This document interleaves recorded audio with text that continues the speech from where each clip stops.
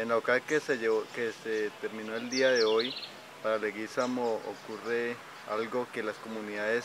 del sector rural nos van a agradecer a los diferentes gobiernos municipales, departamental y nacional, encabezado en esta acá por el señor ministro de Minas y Energía, en el sentido de que nos aprueban el proyecto para que las diferentes localidades